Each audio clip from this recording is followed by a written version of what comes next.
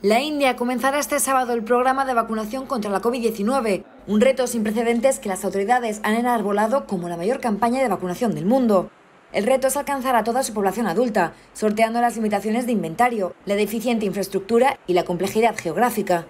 El país de 1.350 millones de habitantes solo tiene precedentes de tal logística en las elecciones generales, que con un sistema para recibir a 900 millones de electores en las urnas sirvió al gobierno de guía para la campaña de vacunación. Las autoridades indias han dado la aprobación para el uso de emergencia de Covishield, la vacuna de Oxford y AstraZeneca y la Covaxin. Las autoridades planean vacunar inicialmente a 300 millones de personas, lo que equivale a casi la población de Estados Unidos en un periodo de seis meses.